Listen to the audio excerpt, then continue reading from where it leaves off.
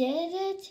Um, you can put on decorations if you want to, but I'm gonna move on. If you're gonna put on decorations, you can pause the video and do whatever you like.